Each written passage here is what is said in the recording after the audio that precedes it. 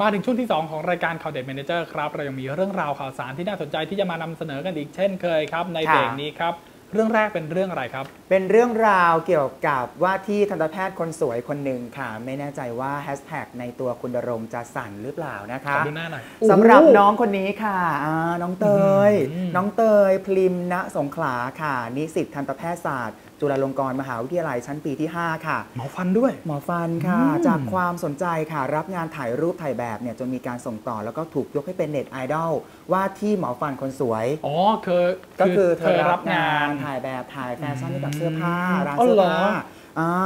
จนมาก็มีการถูกยกให้เธอเป็นไอดอลใช่ไหมอืมเธอบอกว่าไม่ถึงกับขนาดนั้นพี่อันอันนี้เรียนเสียงเนาะไม่ถึงขนาดนั้นค่ะ ยังทำตัวปกติทุกอย่าง พอถามถึงเรื่องเรียนค่ะ เธอบอกว่าไม่ได้อยากเรียนหมอฟันตั้งแต่แรกนะ อ้าวกระทั่งมาสนใจตอนขึ้นม .4 แล้วก็สนใจเรื่อยมา อืมจนไปสอบตรงกับเพื่อนๆ ทั้งๆที่ตัวเองเนี่ยก็สอบติดคณะบัญชีอยู่แล้ว อือฮึ สุดท้ายได้2คณะค่ะ แต่ก็ตัดสินใจเลือกทันตแพทย์ เพราะว่ามั่นคงกว่า โอ้แต่หน้าเธอก็เหมาะกับคณะบัญชีเนาะเหมือนกันเออหากใครอยากสอบติดคณะนี้ค่ะ เธอให้เทคนิคแค่สั้นๆ ก็คือ เก่งอย่างเดียวไม่พอต้องขยันด้วยเหรอฮะ ต้องขยันที่เธออ่านหนังสือหนักมากนะอืมปัจจุบันค่ะ แม้ว่าจะเรียนหนักแต่ก็มีเวลาว่างเมื่อไหร่เนี่ย เธอก็จะไปกินข้าวไปดูหนัง แล้วก็นี่เลยไปนวดผ่อนคลายกับเพื่อนๆค่ะอืมก่อนจะทิ้งท้ายว่า หมอฟันเนี่ยไม่ได้ดุอย่างที่ใครคิดนะจ๊ะ ตัวเธอก็เช่นกัน ก่อนจะบอกว่ามาหาหมอฟันเนี่ย ให้เตรียมใจอย่างเดียวค่ะเงินอย่างไม่ต้องอื่นมาอย่างอื่นเดี๋ยวหมอดูแลให้อ๋อเหรอ แล้วเธอก็ยิ้มยิ้มๆนะเงินเงินด้วยเงินด้วยเงินด้วยไม่มีเงินนี่เตรียมใจทำไงเนี่ยเตรียมเงิน อ๋อเหรอ ส่วนอย่างอื่นเดี๋ยวหมอทำให้หมดค่ะอ่าส่วนอนาคตค่ะ ไม่ได้อยากเปิดคลินิกเป็นของตัวเอง แต่อยากทำงานตามโรงพยาบาลมากกว่า โอ้เห็นแล้วนะอืม บอกได้เลยว่าไม่ได้เตรียมให้ไปเลยดีกว่าให้อะไรคะให้ใจไปเลยดีกโอ้ว่า my god แหมนะน้องพิมครัมาบดูไว้นะ สาวๆเรื่องต่อไปดีกว่าค่ะเรื่องต่อไปมีเรื่องอะไรเรื่องต่อคะไปนะครับคุณพูดถึงหมอฟันอืมอันนี้เป็นเรื่องเกี่ยวกับการฝังเข็ม ฝังเข็มเออแต่ก็เกี่ยวกับว่าการแพทย์เหมือนกันใช่ครับ แต่ว่าฝังเข็มนะฮะเขาเดี๋ยวนี้เขาไม่ได้ฝังกับคนแล้วอ้าวเขาเริ่มฝังกับสัตว์ด้วยว้ายแล้วมาฝังดิฉันทำไมคะเดี๋ยวเดี๋ยวคุณไม่ใช่เออสาวๆค่ะใจเย็นนะออใจเย็นอานะครับฝังกับสัตว์ฝังกับสัตว์ด้วยนะครับเอเอออนะฮะเรื่องนี้ถือว่าน่าสนใจยังไงคะมากเลยครับ โดยในความนิยมนะฮะตอนนี้เนี่ยเกี่ยวกับเรื่องของอืมการฝังเข็มสัตว์เลี้ยงนะครับค่ะ อย่างสุนัขนะฮะโอ้โหมีคนทำก็เขาบอกว่ามีแล้วนะเออมีการทำแล้ว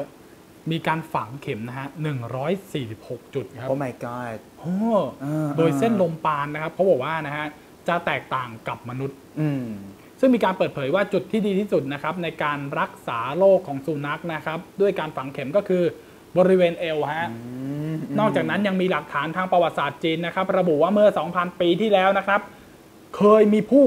รักษาม้านะฮะจากโรครุมเร้านะฮะให้หายเป็นปกติด้วยการฝังเข็มคเขารับเคยมีมาแล้วเมื่อ 2,000 ปีก่อน ไม่ใช่เพิ่งมีเออเออโอ้โหนะฮะจากข้อมูลในหนังสือการฝังเข็มของสัตวแพทยศาสตร์นะครับที่เขียนขึ้นโดยสถาบันวิทยาศาสตร์อืมการเกษตรแห่งชาติจีนนะครับในปีคริดศักราช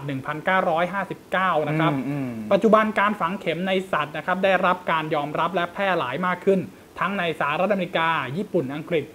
รวมไปถึงไทยด้วยเอาไทยก็มีด้วยนะผมก็เพิ่งรู้เออนี่ก็เพิ่งรู้เหมือนกันเโอ้บ้านเราสใจนะฮะสำหรับใครที่เดี๋ยวดิฉันจะไปฟังบ้างเดี๋ยวเดี๋ยวเดี๋ยวเดี๋ยว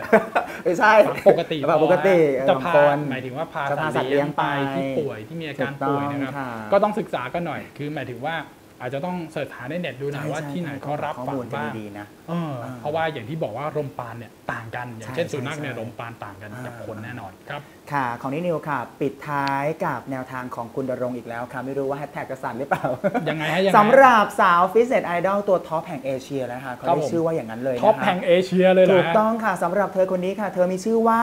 แพรอาริตาตันติวีรสุดค่ะวัย 27 ปี จากสาวที่เคยเป็นนักเสพติดความหวานค่ะ บริโภคน้ำอัดลม โอ้โห เป็นชีวิตจิตใจอืมตอนนี้ค่ะ กลายเป็นนักออกกำลังกายติดโผหนึ่งใน 4 สาวฟิตเนสไอดอลและสาวหุ่นสวยสุขภาพดีค่ะโอ้โหจากเวทีดังเลยนะเวทีนี้ค่ะ Influence Asia 2017 ค่ะครับเธอบอกว่าจุดเปลี่ยนเนี่ยมาจากตอนไปวิ่งกับแฟนอ้าวแล้วก็ไปเห็นมีแฟนแล้วมีแฟนแล้วอืม เก็บแฮชแท็กเอาไว้นะคะ เก็บไว้ให้น้องพริมมื่กี้โอเคได้ค่ะ พอไปวิ่งกับแฟนใช่ไหมแล้วก็เห็นคนที่มาวิ่งเนี่ย อายุเข้าเลข 4 เลข 6 แต่โอ้โห ฟิตมากเออๆ ในขณะที่ตัวตัวเธอเนี่ยตอนนั้นก็ 20 ต้นๆ แต่วิ่งสู้เขาไม่ได้เลย ครับ เหนื่อยมากๆ จึงปฏิวัติตัวเองค่ะ ด้วยการออกกำลังกายบวกกับมีแฟนหนุ่มค่ะสายสุขภาพ อืม อ๋อ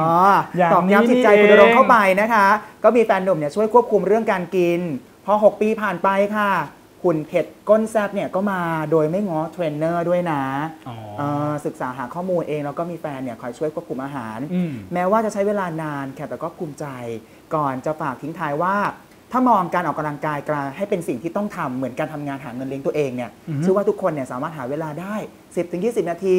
ดังนั้นเนี่ยทุกคนทำได้ถ้าตั้งใจสักอย่างอืมเธอก็ให้คำคำมั่นนะคะว่าทุกคนทำได้คุณดรงค์ก็ทำได้ค่ะ แต่ถ้าเผื่อสมมติว่าสาวๆนะฮะอืมสาวๆเนี่ยอยากมีหุ่นดีๆ ก็อย่างที่ค่ะเขาบอกต้องมีแฟนสายสุขภาพ ต้องมีฝเออนั่นเอแหอละค่ะใช่คุณไหมมั่นสายสุขภาพไหมคะผมสายทำลายสุขภาพโอ้ตายละดิฉันไม่รู้จะพูดอะไรต่อดีอะค่ะครับผมเออค่ะ และทั้งหมดนี้ค่ะก็คือข่าวเด็ดที่เราคัดสรรมาให้ท่านผู้ชมได้ชมกันค่ะ ยังมีอีกหลากหลายเรื่องราวที่ท่านผู้ชมสามารถคลิกเข้าไปอ่านได้ที่ www.manager.co.th ค่ะ อย่าลืมนะครับ คลิกเดียวรู้เรื่องอ่าน Manager ออนไลน์ สวัสดีครับ สวัสดีค่ะ